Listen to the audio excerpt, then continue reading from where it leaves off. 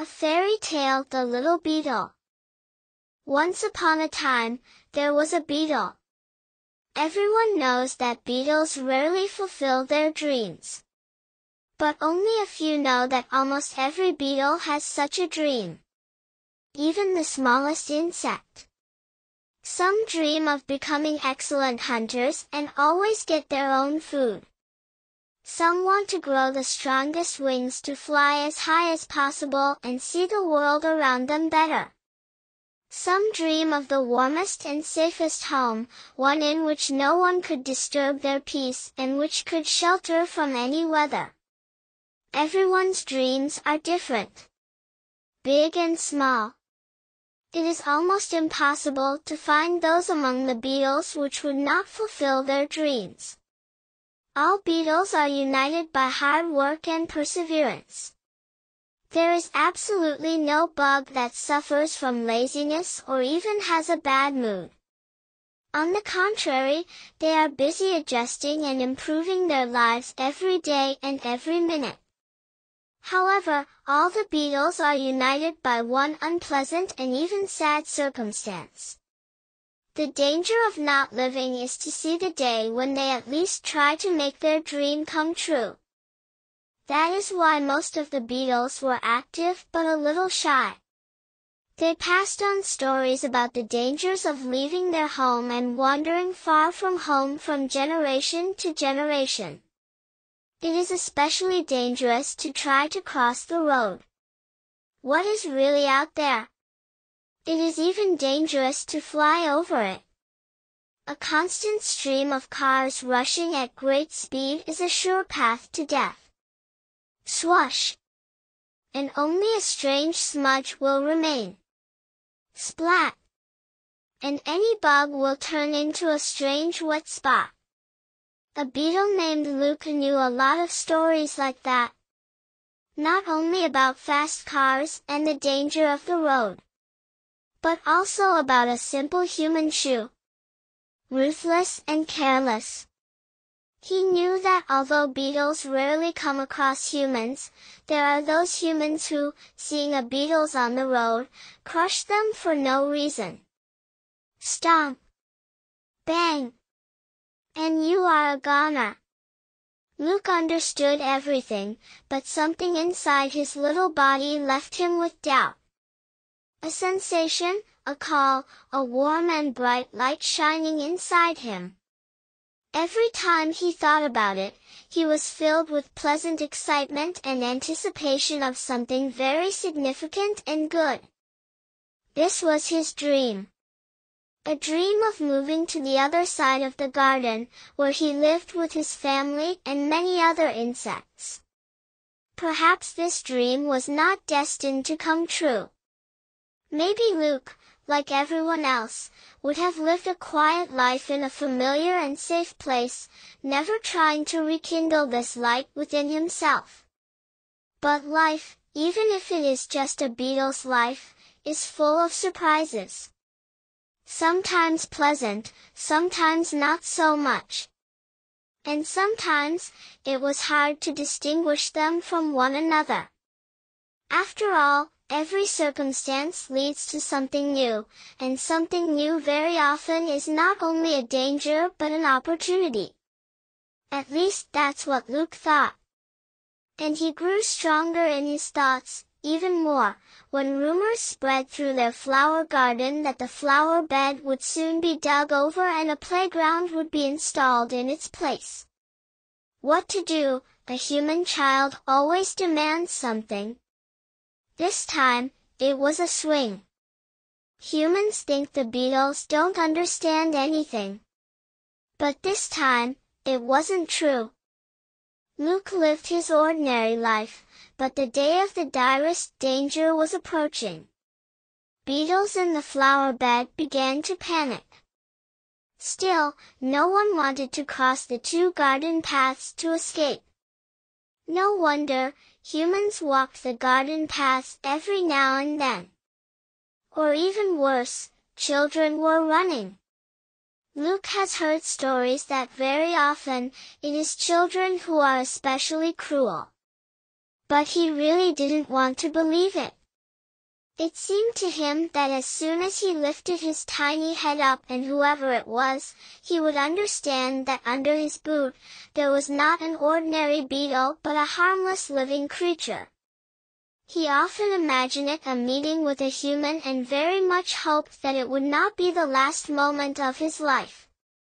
Besides, Luke understood one more thing. He understood that even the bravest and the most courageous creature sometimes finds it difficult to decide. So he, too, despite all his determination to get over to the other side, hesitated and doubted for some time. What if, before stepping into uncharted territory, he would be immediately trampled by a human boot? Even if no one kills him on purpose, how often do humans look under their feet? More so, they are most certainly not worried about such a small insect like him. They walk along with their heavy human steps, without even noticing bugs. Or the fast wheels of a garden wheelbarrow will leave only a barely noticeable trace of a bug on the track. Just think about it. After a couple of hours, no trace of you will be left if you risk crossing the path. How scary! But on the other hand, how glorious would it be if he did succeed? Perhaps then, other beetles and insects would have believed in themselves and would have followed him. So he stood at the edge of the flower bed for a long, long time and still could not bring himself to venture into the unknown. You will disappear, bees buzzed.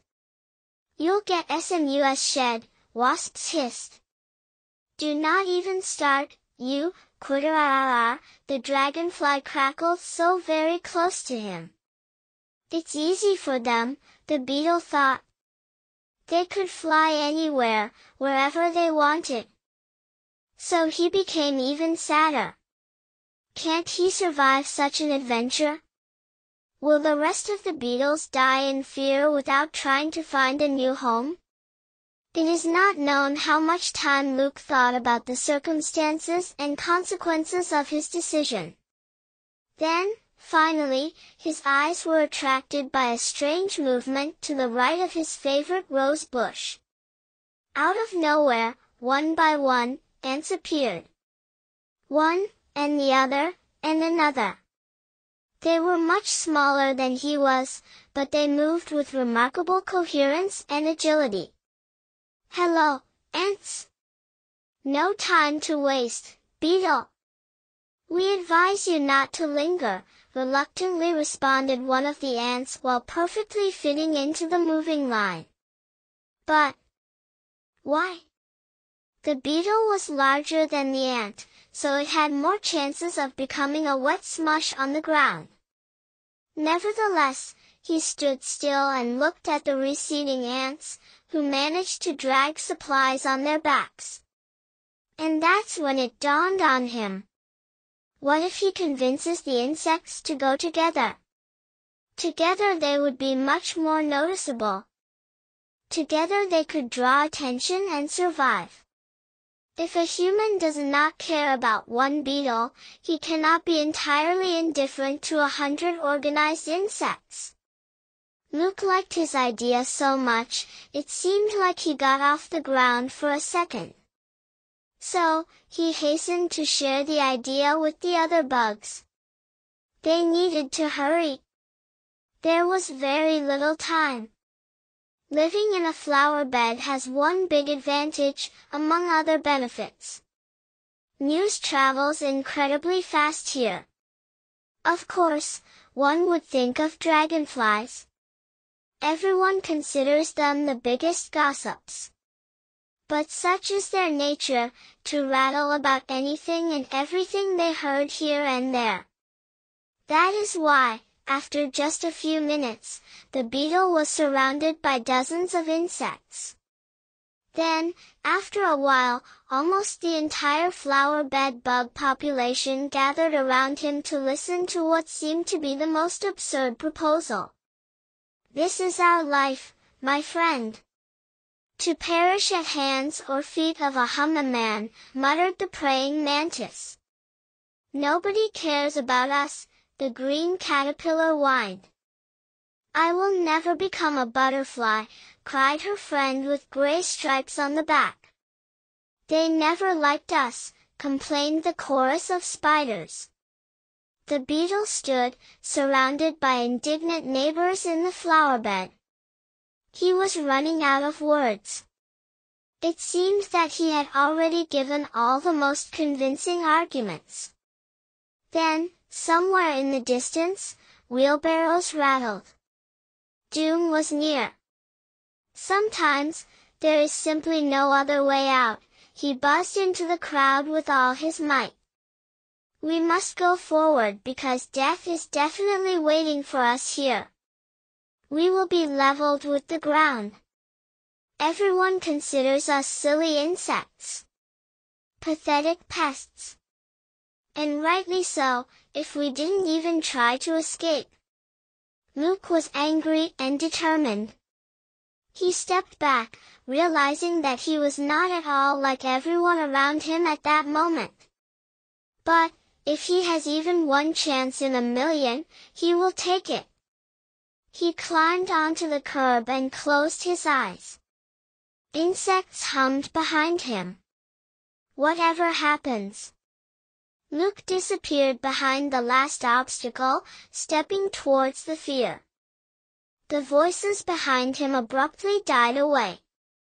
The beetle was crawling along the path, a strange surface, he thought, smooth but warm. And not scary at all, sunny and light. Stomp blam. Stomp blam. It rang out somewhere very close. Luke's eyes suddenly darkened. Oh, or not. What's happened? He could not understand anything. Finally, the beetle stopped, seemingly alive. Looking around, he realized that some kind of shadow had covered him. And a shadow that appears suddenly is always bad for a beetle. He couldn't look up, so he narrowed his eyes and lay snug. Whatever happens. Dying because of doing nothing is worse than dying halfway to your dream, he thought. Dad! Look how beautiful! What is there, my girl? Look! A bug! Where? Stop! Stop! Careful, you'll crush him now! Luke opened his eyes. Huge blue eyes were looking at him. They smiled. Hello Beetle. I am May, do not be afraid. I just want to see you. FFF, Luke tried to mumble something. Wow, really cute. A second pair of eyes stared at him. The eyes were even larger than the first ones. Luke had never before heard anything about himself. And even more so, he did not even think that he could be beautiful. An ordinary beetle, like everyone else, he always thought. Come on, go, bug, or the builders will crush you. I will have a new swing very soon. Blue Eyes gestured in the direction of the flower bed, where Luke was in a hurry to get to. The beetle turned around and looked in surprise at his friends left behind. Several dozen insects were sitting on the edge of the curb, just like him a minute ago. Also, doubting and fearing of change. But staying almost certainly meant death. So the ants, beetles, bugs, and caterpillars, one after another, went towards him.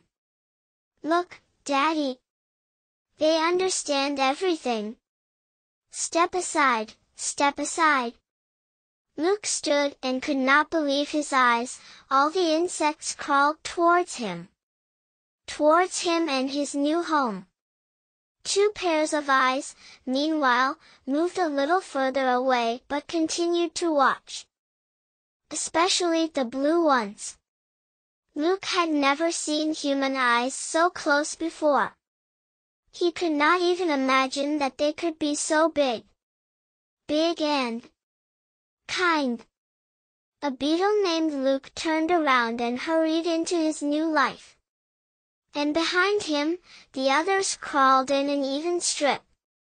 He thought how good it is to stand out from the crowd sometimes.